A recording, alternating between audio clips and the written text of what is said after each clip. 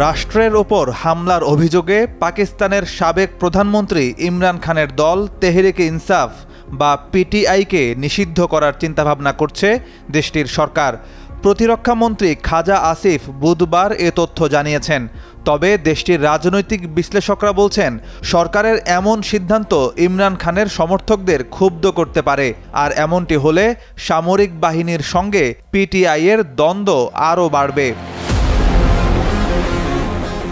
খাজা আসিফ সাংবাদিকদের বলেন, ইমরান খানের পিটিআই রাষ্ট্রের মূল ভিত্তিতে আক্রমণ করেছে, যা কোনোভাবেই সহ্য করা হবে না। তিনি বলেন, পিটিআইকে নিষিদ্ধ করার বিষয়টি আমাদের বিবেচনায় রয়েছে। দলটি নিষিদ্ধে সরকারি সিদ্ধান্তের ক্ষেত্রে পার্লামেন্টকে চূড়ান্ত অনুমোদন দিতে হবে বলেও জানান খাজা আসিফ।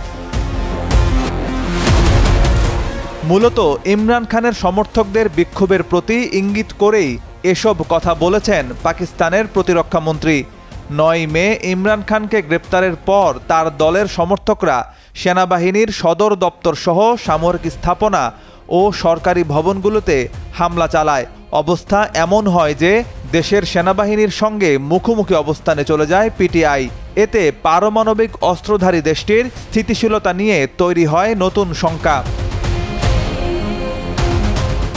অবশ্য পিটিআইয়ের সিনেটর আলী জাফর বলেছেন, যদি পিটিআইকে নিষিদ্ধ করার কোনো সিদ্ধান্ত সরকার নেয়, তাহলে সুপ্রিম কোর্ট চব্বিশ ঘণ্টার মধ্যে ওই সিদ্ধান্ত বাতিল করে দেবেন।